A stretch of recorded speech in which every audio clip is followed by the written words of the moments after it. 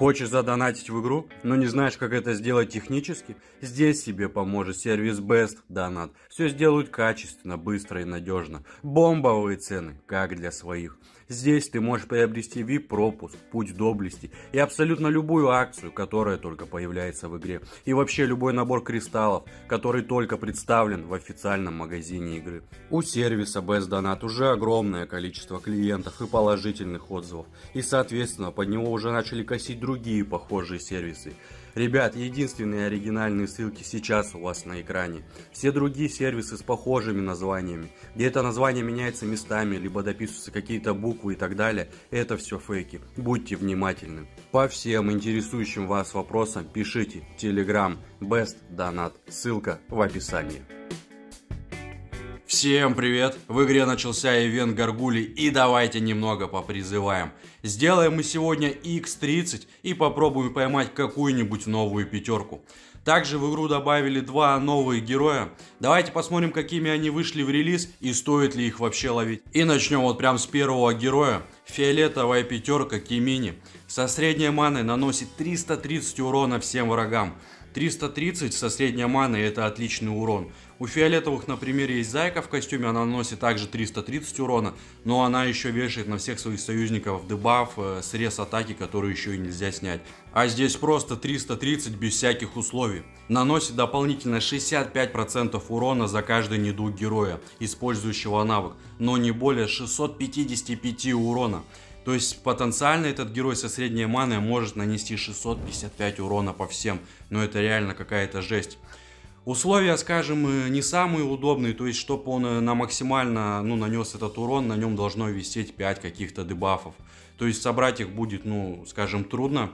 Но сейчас очень много героев пятого сезона в оборонах, а у них пассивки, они постоянно вешают какие-то дебафы. И, в принципе, два вот этих недуга, ну, вполне реально собрать.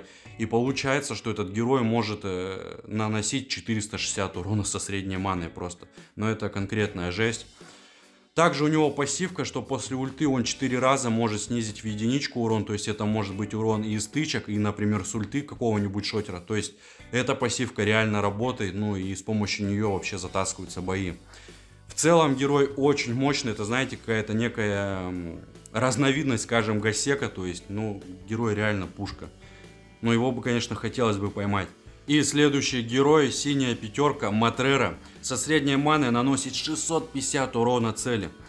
Цифры просто какие-то космические, со средней маной даже урон по одной цели, но это очень жесткий. Была Йора с пушком, они наносили 600 урона, ну здесь 650. Если цель умирает, остаток урона наносится каждому врагу поблизости.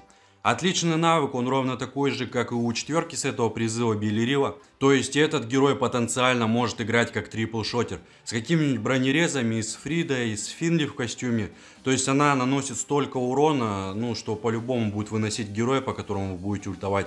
Ну и остаток этого урона будет, э, в общем, хватать еще и на врагов поблизости. Также цели ближайшие враги получают минус 40 атаки на 4 хода.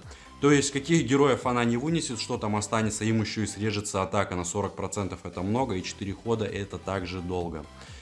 В общем, герой очень мощный, ну и потенциал у него также есть. Ну и пассивка также 4 раза может снижать весь урон в единичку, тоже отлично. В общем, новые герои интересные, хотелось бы их, конечно, поймать. Мы их обязательно найдем фуловыми, затестим, ну и более точную, скажем, оценку им дадим. Давайте попризываем, отсюда бы хотелось поймать э, Гасека, ну и какого-нибудь из этих новых героев. Ну давайте покрутим, ну и посмотрим, кто нам выпадет. Полетели! И давайте первый призыв. Посмотрим. Так, фиолетовый, ну давай. Нет, регулярная тройка. Давайте дальше. Так, красный. Пошли четверки регулярные. Желтый пенелита. Не, инструктор, так. Тут инструктора есть. Ну, это в любом случае лучше, чем обычная тройка. Так, понятно. Ивентовых героев еще не было. Даже троек. Так, красный, но... Нет, опять тройка. Давайте обратно прокрутим. Смотрите, они тут прям в ряд выстроились. Все эти пятерки. Так, фиолетовый.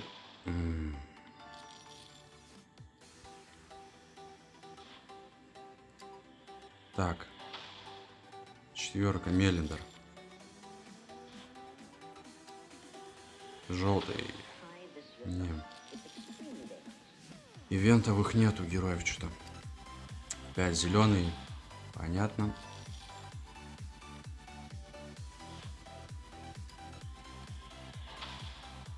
Короче, герои интересные, но выловить их, скажем, навряд ли получится. Так, красный.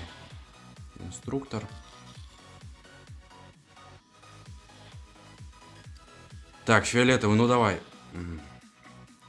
Так, ну. Хоть кто-то с ивента. Желтый.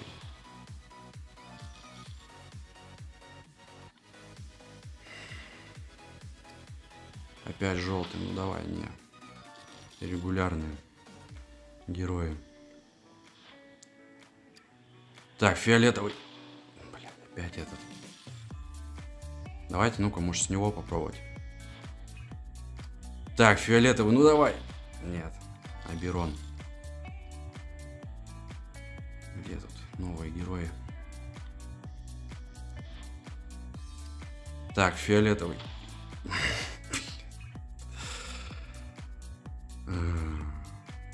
Продолжаем.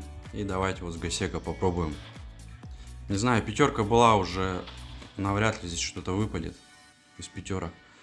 Так, Белериф, первая ивентовая четверка. Выпала.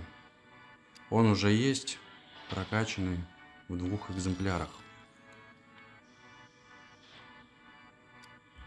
Красный, ну давай что-нибудь. Пятерку какую-нибудь. Так, желтый инструктор.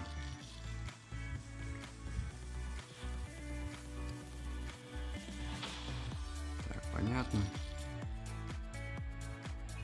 Давайте сюда прокрутим. Так, фиолетовый. Ренфилд. Ну, походу, без пятерок. Без ивентовых. Так, фиолетовый. Опять Ренфилд.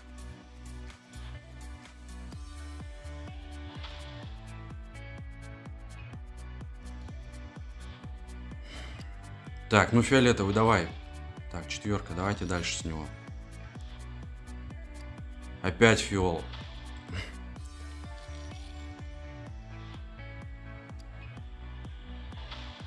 Понятно.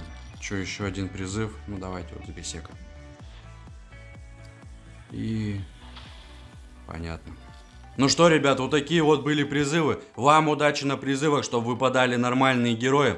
Ставьте лайкосики, подписывайтесь на канал. Всем отличного настроения и всем пока.